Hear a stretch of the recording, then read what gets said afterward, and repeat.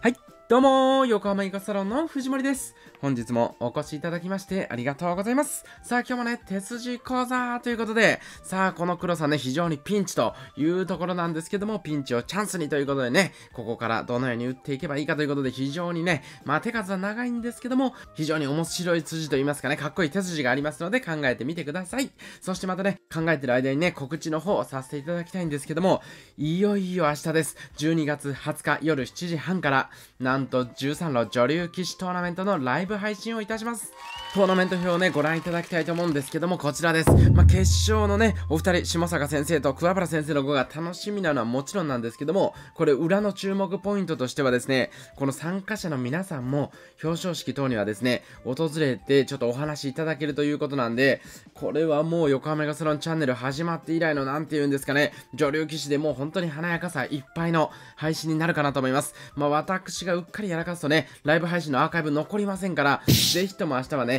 ライブでお楽しみいただきたいということで、えー、明日7時半からお時間ある方ね、えー、ぜひとも一緒にね、盛り上げよろしくお願いいたします。正直一人では不安でございます。ぜひ普段見てる皆さんのお力貸していただきたいと思います。ぜひチャットもね、気軽にどんどん書き込んでみてください。はい、ということで、じゃあ早速答え合わせの方行きたいと思います。さあ、黒番でね、今この4つもピンチ、この2個もピンチ。さあ、種石を取るしかないということで、この1個どうやったら取れるかということで、1手目はまず切るしかないんですよ。で、その後読み切るることができるかどうかというとこですけども、逃げられて、さあ、ここで、なんかこちら側の石とかをね、追いかけてしまうと、これもすぐに当たりで取られてしまいますね。で、まあ、これを取られるとちょっと不満かなということで、えやはり当たり当たりで仕掛けていかなければいけません。1個でも休むとすぐ自分が当たりになっちゃいますからね。ですので、ここでこちらから当てるのが大事な一手です。そして逃げられた時に、今度はこっちから当てます。そう、当たりなんですけども、取っちゃうんですね。これ、えー、抜かれちゃうじゃないかと思うんですけども、抜かれたらまた当たりをして、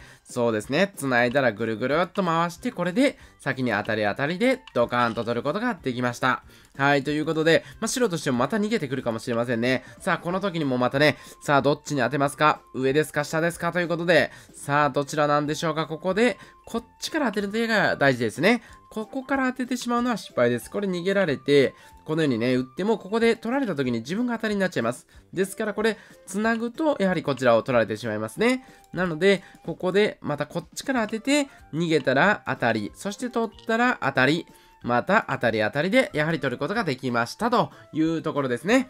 はい、ということで今回はね、まあ、一本道ではあるんですけども、これただ頭の中でこういった、その当たり当たりとはいえね、それが正しくこう置けるかっていうのがね、頭の中にこう5番が出て置けるかっていうのがね、意外と難しいポイントだったかなと思います。はい、ということで、さあ今回の問題は皆さんいかがだったでしょうか？ということでね、私もほんとね、久々にまたね、ねプロの先生のご明日実況させていただきますんで、ぜひとも皆さんもね、一緒に盛り上げに来ていただいて、おーなんかね、横浜サランチャンネル出てみたいななんていうね、人が増えてくれるとね、また皆さんにより楽しいコンテンツをお届けできるかなと思いますので、どうぞよろしくお願いいたします。それでは今回は以上にいたします。本日もご視聴いただきましてありがとうございました。毎日ね、いろいろな動画上げておりますので、ぜひともチャンネル登録並びに高評価、よろしくお願いいたします。それではまた次の動画でお会いしましょう。バイバイ。